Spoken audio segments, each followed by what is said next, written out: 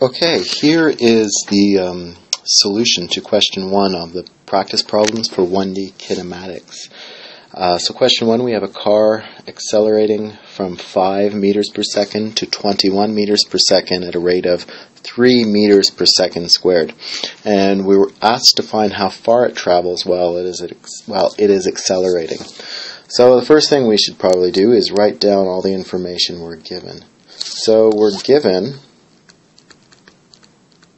uh, the following. We're given the acceleration, um, and I'm going to assume the car is, well, it's traveling in one uh, dimension, so let's just say it's going in the x direction. The magnitude of the acceleration is 3 meters per second squared. Our initial velocity is 5 meters per second, and our final velocity is 21 meters per second. Now we're asked to find um, displacement, or rather how far it travels. So what we are interested in is finding delta x. Now, the thing to note here is that this is motion with constant acceleration. So let's write that down. Motion um, with, uh, there we go, with constant acceleration.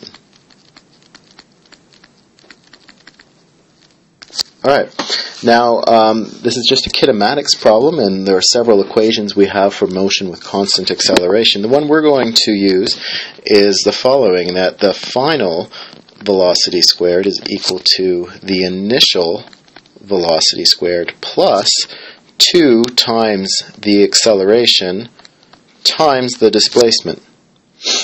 Um, in this equation, we know the final velocity, the initial velocity, and the acceleration. Uh, the only thing we don't know is delta x, so we can solve for delta x. Delta x is just the final velocity squared minus the initial velocity squared, or well, I say velocity, but I should really just say speed, uh, divided by 2 uh, times the acceleration. And it's just now a matter of plugging in all the uh, given quantities that uh, we have in the problem. So we have um, 21 meters per second squared minus 5 meters per second squared divided by 2 times the acceleration, which is 3.0 meters per second squared.